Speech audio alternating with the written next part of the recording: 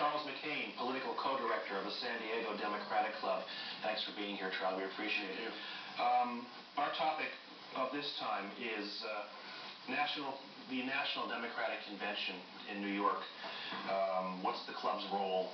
What's going to go on at the convention? What are you looking forward to? What are you not looking forward to? Well, uh, this year 1992, San Diego Democratic Club has succeeded in electing uh, five openly gay and lesbian delegates to the National Democratic Convention. Uh, we have done this in the past, 1980, 1984, and 1988. We've sent four delegates during uh, those years. This time, um, we've had uh, great success in getting five people onto the uh, delegation. That's uh, five people out of about 20 to 25 in San Diego County. So the purpose of this is to uh, get uh, gay and lesbian Democrats from all over the country together in New York and to create a sense of national community. So often we feel isolated from one another, and this gives us a chance to come together into a coherent uh, national body for a uh, convention week and then to build on that after the convention. Also, it's a chance for us to uh, put before the uh, public through the uh, convention the importance of our issues. Uh, the gay and lesbian uh, federal civil rights bill, the uh, need to uh, end the military's discrimination against gay people, and the need to have a comprehensive federal approach to the AIDS crisis. How organized is the club in terms of national cohesiveness that you just spoke of with other Democratic clubs across the country? Well, there are uh, there is a national uh, organization of gay and lesbian democratic clubs that of which we have uh, been a member in the past, and there is a coordinated effort by the National Gay and Lesbian Task Force and Human Rights To fund to identify the uh, gay and lesbian delegates at the uh, Democratic Convention and the Republican Convention, if there are any there. But the Democratic conventions in the past, we've had uh, in the last four conventions, uh, 80 to 100 people who identify themselves as gays and, and lesbians. And then this will enable us to meet together as a caucus there to uh, have the candidates or the candidates campaign staff come to us and hear what we feel about their candidates, what issues are important to us, and what we uh, want to see the candidates uh, do on our issue.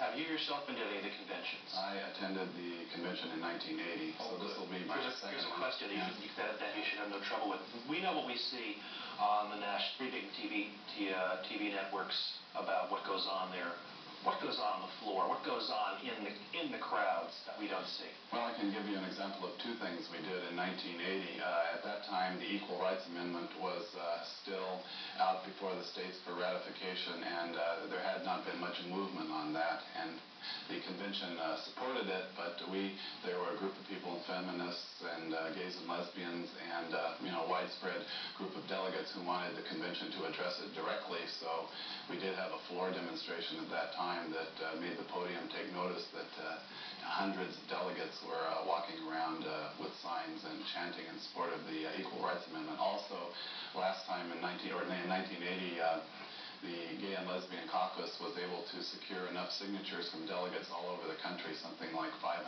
signatures, to nominate a uh, black African American man from uh, Washington, D.C. as the vice president, and that allowed him time on the podium to address the full convention about uh, issues important to us. Those issues being? Well, uh, again, this time I think the priority issues are the uh, federal uh, gay and lesbian civil rights bill to extend uh, non-discriminatory uh, protection to uh, people in um, housing, employment, public accommodations without regard to sexual orientation. And the, the, I think to end this uh, spectacle that we've been seeing recently of the military discharging people who have been decorated for their service in the wars and their service to the country through the military and then discharging them simply because they are gay without regard to their uh, good performance record. That's, I think, will be a priority issue. And then um, Governor Clinton has uh, said that he will uh, have a person with, living with HIV address the convention so I, the uh, Gay and Lesbian Caucus will be uh, working with the Clinton campaign on uh, deciding who that person will be. We also want to have a unopenly gay and les- or lesbian person uh, address the convention uh, on the uh, important gay and lesbian issues. So we're working on that. There will also be demonstrations outside the convention on a variety of issues, in, including gay rights uh, agendas and also uh, AIDS issues. And we want to coordinate inside with the uh, people outside, if necessary, to uh, demonstrate inside, depending on how the uh, convention proceeds. Now, sad as it may be, it's unfortunately uh, becoming more and more factual articles that we're reading, things we're hearing, gay rights discrimination bills and the like being voted down, being rescinded, being withdrawn across the country. Um, questions, comments, thoughts Well, on that? I think uh, in the last uh, 20 years, we've seen a lot of movement towards uh, legal equality for gays and lesbians throughout the country, various cities, various states, and uh, some uh, portions of the federal uh, government.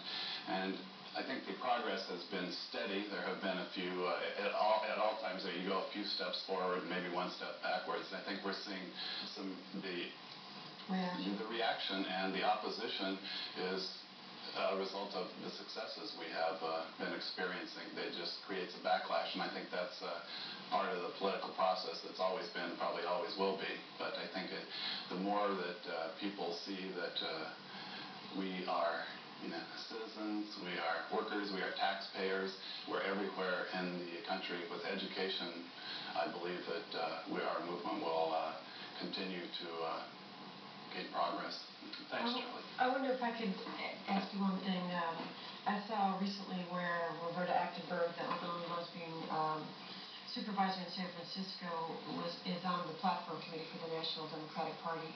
And you, you were talking about the agenda that's going to be taking, the organizing on the floor and the convention process that's going to be organizing around a gay agenda, gay lesbian agenda. What's her, her role on the platform uh, committee? Will she be able to insert, uh, you know, language about gays and lesbians in the military or the discrimination bill that'll help us? Yes, I, I think that was will be her role. Uh, she has been uh, one of her chances are? I, think they're pretty good because uh, uh, Bill Clinton has uh, spoken to uh, gay and lesbian groups and has pledged to end the discrimination in the military and to uh, try to bring about uh, legal equality, that. Uh, Roberta Achtenberg has been on his uh, statewide steering committee for the Clinton campaign. Also, uh, Carol Migden, who's an, another openly uh, lesbian supervisor in San Francisco, has been appointed to the platform committee, and she has been the uh, chair of the California Democratic Party platform committee for a number of years, and many of the portions of that platform dealing with non-discrimination will be included. All right. We'll be back, in fact, with uh, Chris in just a moment.